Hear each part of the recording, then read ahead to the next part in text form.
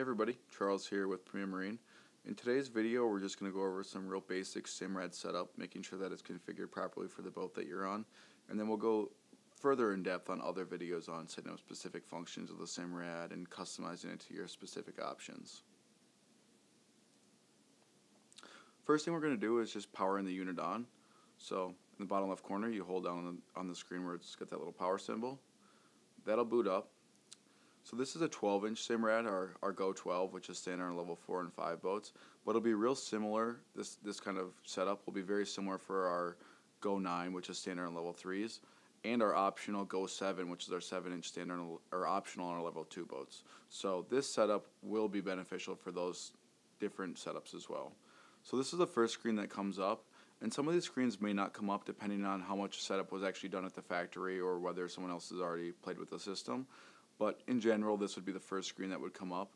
Um, if you don't see some of these screens, don't worry, it should already have been set up properly at the factory. So we're going to select English, which is the, the language we want to go with. You can always select whatever you want, click yes. This is just a generic screen that pops up pretty much every time you, you turn the sim Simrad on, which is just warning you about making sure you're operating the boat properly and in a safe fashion and not looking at the screen when you should be looking at the water. So we'll click accept there. Now let's go into device configuration. So we are going to want to configure this now. So we'll click configure this device and then we'll select miles per hour, miles and feet. If you want different units, you can always do that. Um, as far as transducer goes, the Simrad will automatically determine the right transducer depending on what's plugged in. So it should already be highlighted. So we'll click on that one and then the configuration is complete. We'll click finish. That part's complete. The next prompt is the network's asking for data sources to be set up, so we will want to do that. We'll click OK there. The system's ready to auto-select data sources, but it even says before starting, make sure that everything is powered on. So we want everything that the Simrad is going to find to be powered on. So we're going to want to make sure the stereo is powered on. We're going to want to make sure the engine key switch is in the on position so that the engine's powered up and that the Simrad can find it. We'll make sure the stream wheel is lit up properly.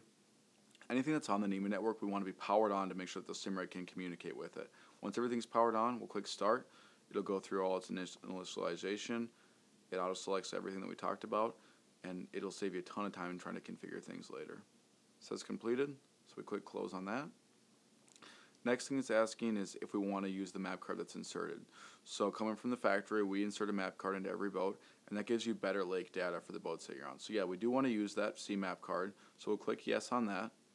We'll do another video later on specifically on double checking, making sure that the map card is inserted and that you're using it. So we'll do another video of that later on. So now we're into device registration. In general, I'd say that it's better to leave this for the consumer to do. You really maybe don't want to do it as a dealer. It's more for the consumer to register the SIMRAD to their boat so that they can get updates later. So I would click close and not register now.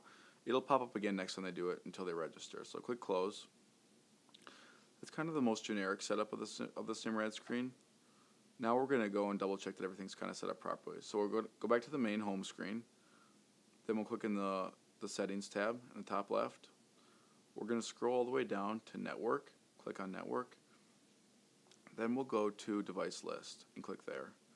This is showing that's everything on the NMEA backbone, everything that the Simrad has found. It's showing us the fluid level sensor, which is our fuel tank sensor. Oh, you see it's, it's saying no GPS fix. That's that's an alarm that's coming up because we're inside with this boat, so the Simrad unit can't find a GPS signal. So through the concrete and everything, it's not going to be able to get a GPS connection. But as soon as we put this boat outside, it won't alarm and it should be just fine. So we'll just click close on that for now. So the fluid level sensor is a fuel tank. The next five items are actually built into the screen itself. So they're all Go 12 initial functions. They're just showing here. Um, it's the navigation, the GPS, all that stuff that's actually built into the unit. That looks all good. Next thing you'll see is the MM100.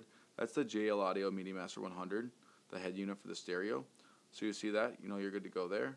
Last one is the Navico controller, which would be the steering wheel with all the functions that communicate to the Navico Simrad screen. Um, so that all looks good. From there, we're going to go a little, into a little bit more generic setup we're going to go to the boat settings. From network, we're going to scroll up. We're going to go to system. We see boat settings. We'll click there.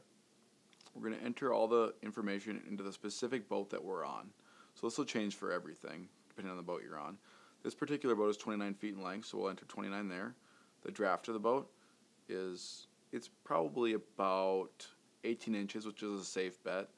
Um, we'll say two feet just to be safe. You know, it's about half the tube diameter, but we'd rather have a, little bit safer. So the width is 10 feet wide on this particular boat that we're on. Eight and a half is standard, but this boat's a 10 foot wide.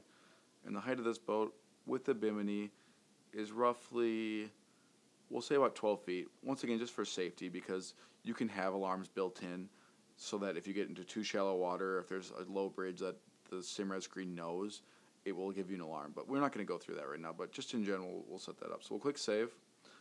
Um, that's the generic boat setup. We'll go back to the main screen.